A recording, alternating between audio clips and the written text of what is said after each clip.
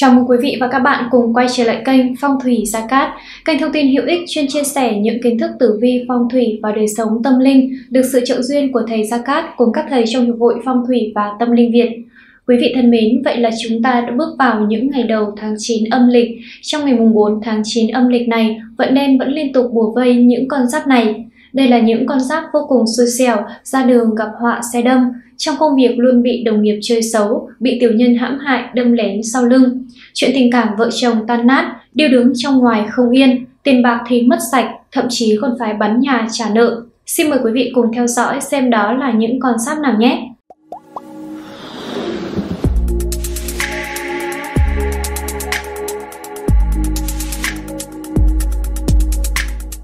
Quan sát xui xẻo đủ đường đầu tiên trong ngày hôm nay là những người tuổi tỵ. Một tuổi tỵ Thưa quý vị, trong ngày mùng 4 tháng 9 này, các nhà tử vi chiêm tinh học cho biết những gia chủ tuổi tỵ bị va vào thương quan khiến nhiều người dễ mất chức, thôi việc hoặc bỏ dở việc học. Vậy nên bản mệnh cần kiểm soát bản thân tốt hơn, chứ đừng đặt cái tôi của mình lên quá cao hay vì bảo thủ. Cố chấp quá mà đưa ra những quyết định sai lầm, Điểm sáng trong ngày là đường tình cảm nhờ tam hợp cục chỉ đường dẫn lối nên ngoại giao tài tình, đi đâu cũng được người ta quý mến.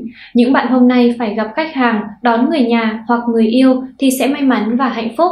Tuy nhiên, vận trình tài lộc của người tuổi tỵ chịu ảnh hưởng từ cục diện hỏa khắc kim nên dễ mất tiền, mất đồ hoặc làm ăn không có lời.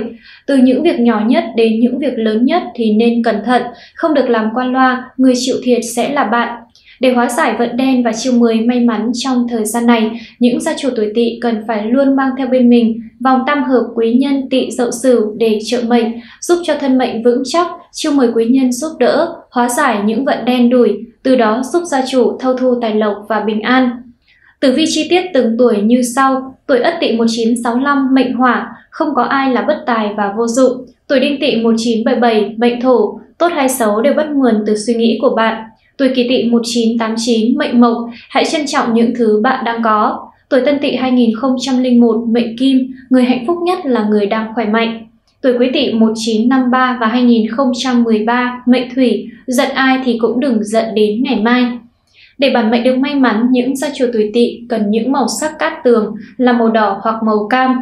Bên cạnh đó, bạn hãy tìm và kết giao với những con giáp quý nhân của mình để được phù trợ giúp đỡ như các tuổi thân, sửu, dậu. Đó là con giáp xui xẻo đầu tiên trong ngày hôm nay. Con giáp xui xẻo tiếp theo là những người tuổi hợi. Hai tuổi hợi các chuyên gia tử vi tâm linh học cho biết, ngày hôm nay do vận có chính ấn nên sự nghiệp của người tuổi hợi chủ yếu tập trung đến địa vị, quyền lợi, khách hàng, thi cử. Một lời khuyên đắt giá cho bản mệnh đó là càng khiêm tốn càng được quý nhân trợ giúp, càng khoe khoang càng dễ đánh mất cơ hội. Quan hệ xã giao cũng không được hài hòa, còn chuyện tình cảm tốt đẹp hơn một chút nhờ có tam hội chỉ đường dẫn lối. Tuy nhiên, con giáp đôi khi thường suy nghĩ nhiều và theo hướng tiêu cực. Những người tuổi hợi ngày càng yêu đời hơn vì có rất nhiều điều tốt đẹp đang chờ đón phía trước. Công việc tuy đang có nhiều khó khăn nhưng bạn vẫn nhận được nguồn thu ổn định nhờ cục diện kim sinh thủy. Ngoài ra, bên cạnh thu nhập chính, con giáp nhận được các khoản ngoài lề như tiền thưởng, quà cáp từ bạn bè, cấp dưới. Để hóa giải vận đen và chiêu mười may mắn trong thời gian này, những gia chủ tuổi hợi cần phải luôn mang theo bên mình vòng tam hợp quý nhân hợi mão mùi để trợ mệnh, giúp thân mệnh vững chắc, chiêu mời quý nhân giúp đỡ, hóa giải những vận đen đủi, từ đó giúp gia chủ thâu thu tài lộc và bình an. Chi tiết từng tuổi như sau. Tuổi Ất Hợi 1995, mệnh hỏa, cuộc đời bất công nên phải học cách chấp nhận. Tuổi Đinh Hợi 1947 và 2007, mệnh thổ, không tha thiết với tình yêu nữa. Tuổi kỷ hợi 1959 mệnh mộc, mọi chuyện sẽ được giải quyết êm đẹp. Tuổi tân hợi 1971 mệnh kim, càng lớn tuổi càng lười giải thích, tranh đấu. Tuổi quý hợi 1983 mệnh thủy, cái giá của trần trừ chính là mất mát. Trong thời gian này, để có được may mắn, những người tuổi hợi cần chọn những màu sắc cát tường là màu trắng hoặc màu đen. Bên cạnh đó, quý vị hãy tìm, kết giao và chơi thân với những người thuộc con giáp quý nhân của mình như các tuổi dần, mão mùi, con giáp đen đuổi thứ ba trong ngày hôm nay là những người tuổi mão. 3. Tuổi mão Các nhà tiên tri chỉ rất rõ ngày hôm nay tuổi mão có tỷ kiên chiếu vận nên làm việc khá cương trực, nhanh nhẹn nhưng hay bị đồng nghiệp chơi xấu, cấp dưới cản trở, tiểu nhân luôn tìm cách hại lén sau lưng. Người làm ăn kinh doanh, dịch vụ dễ gặp phải khách hàng khó tính, khó ưa khiến bạn không muốn phục vụ. Hơn nữa, vận trình tình cảm lâm tương xung nên vợ chồng đôi lứa khắc khẩu, ghét nhau mà không bỏ nhau được. Đi ra ngoài cũng bị người khác làm khó, dễ gặp phải những người vô ý tứ hay làm phiền tới bạn. Bên cạnh đó, ngũ hành mộc kim xung khắc mang lại điểm báo không lành trong chuyện tiền bạc. Nhiều người biết là đang mắc nợ mão nhưng cố tình trốn tránh lì lợm không chịu trả. Hôm nay còn chi tiêu khá nhiều tiền cho những khoản lặt vặt trong nhà. Để hóa giải vận đen và chiêu mời may mắn trong thời gian này, những gia chủ tuổi mão cần phải luôn mang theo bên mình vòng tam hợp quý nhân hợi mão mùi để trợ mệnh, giúp thân mệnh vững chắc, chiêu mời quý nhân giúp đỡ, hóa giải những vận đen đủi, từ đó giúp gia chủ thâu thu tài lộc và bình an. Chi tiết từng tuổi như sau. Tuổi Ất Mão 1975 mệnh Thủy, người không tốt nên không tiếc. Tuổi Đinh Mão 1987 mệnh Hỏa, bạn bè lúc khó khăn tìm gặp đến lúc có tiền chạy mất. Tuổi Kỷ Mão 1999 mệnh Thổ, ngày càng ức chế với công việc. Tuổi Tân Mão 1951 và 2011 mệnh Mộc nên tập trung vào chuyện nhà mình. Tuổi Quý Mão 1963 mệnh Kim, sống bình an đến hết ngày. Trong ngày hôm nay, những sao chủ tuổi mão hãy mang theo những màu sắc cát tường là màu đen hoặc màu trắng để được may mắn. Bên cạnh đó, các bạn hãy tìm chơi và kết thân với những người thuộc các tuổi quý nhân của mình là tuổi tuất, tuổi hợi và tuổi mùi. Con giáp thứ tư xui xẻo không thể không nhắc tới đó là những người tuổi dần. 4. Tuổi dần các bậc thầy tử vi học chỉ rõ trong ngày hôm nay về mặt công việc của những gia chủ tuổi dần không tốt vì kiếp tài lâm vận, tay chân cấp dưới đều cáng, chia bè kết phái, đi làm dễ bị nói xấu sau lưng vì bản mệnh khả năng tính bộc trộm. Gần đây tâm trạng không tốt nên kiểu gì cũng làm phật lòng vài người ở chỗ làm. Hôm nay mặt tình cảm của người tuổi dần chịu ảnh hưởng từ cục diện mộc khắc kim nên khá mệt mỏi. Gia đình có lục đục ngầm mà những bạn đang xa nhà không hề hay biết. Đây là lúc bạn nên tìm đến bạn thân để xin lời khuyên cho những vấn đề bạn đang gặp phải trong cuộc sống.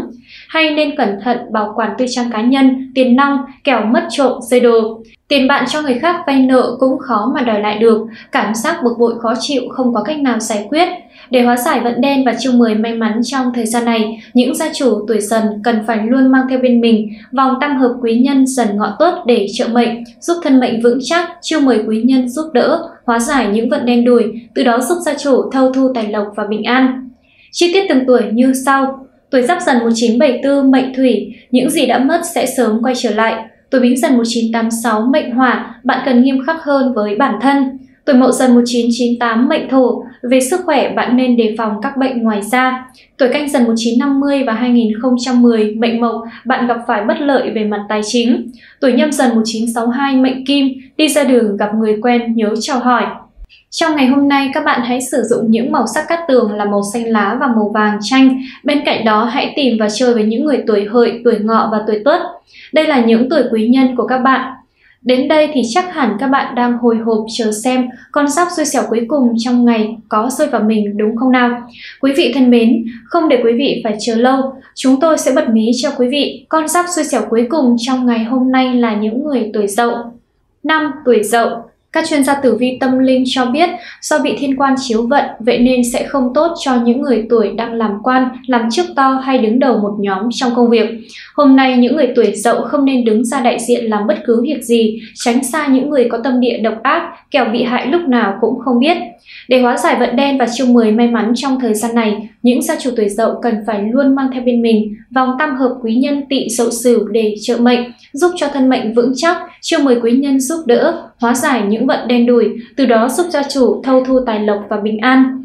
Tâm trạng ủ rột vì lâm vào cục diện tự hình, gương mặt lạnh lùng cộng thêm ít nói nên bản mệnh hay bị chê là giao tiếp kém. Bạn rất muốn nói một vài người rằng cảm ơn vì đã đến, cảm ơn vì đã giúp tôi sáng mắt ra, sau này xin đừng gặp lại nhau nữa. Đường tài lộc không ổn định, có nhiều biến động, bản mệnh được khuyên là nên cố gắng giữ cho các mối quan hệ hài hòa để đường kiếm tiền sau này được thuận lợi. Chi tiết từng tuổi như sau. Tuổi Ất Dậu 1945 và 2005, mệnh Thủy, khéo ăn khéo nói, có được may mắn. Tuổi Đinh Dậu 1957, mệnh Hỏa, biết rời bỏ người làm mình tổn thương. Tuổi Kỷ Dậu 1969, mệnh Thổ, khóc xong rồi thì đứng dậy và tiếp tục bước đi. Tuổi Tân Dậu 1981, mệnh Mộc, không nên chơi với những người chỉ biết ăn, không biết trả. Tuổi Quý Dậu 1993, mệnh Kim, từ bỏ không phải là yếu đuối mà là đủ mạnh mẽ để tự lập.